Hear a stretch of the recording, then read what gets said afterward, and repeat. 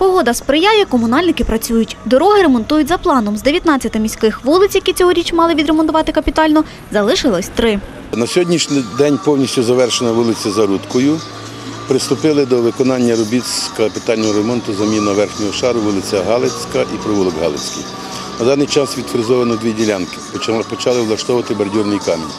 Станом на сьогодні- сьогоднішній день влаштовано 220 метрів бордюрного каменю. Залишилося ще порядка майже 300 метрів. Робота клопітка, тому завершити планують до вівторка. Далі візьмуться за нижній вирівнюючий шар та верхній шар асфальту. Тут вже без перекриття вулиці не обійдеться. Два дні вулицю Галицьку водіям доведеться об'їжджати. Після цього комунальники візьмуться за ділянку дороги на вулиці Миру. Проїзні, проте на поточному ремонті зараз вулиця Патріарха Мстислава, яка тягнеться від Руської до Медової, і сама Медова. Основні роботи тут планують завершити вже сьогодні. Одна з найсуттєвіших цьогорічних робіт реконструкція вулиці Симоненка. Її перекриють вже з 2 серпня. Реконструкція вулиці Симоненка це великий об'єкт, тендерний об'єкт. На нього передбачено 5,9 мільйона гривень.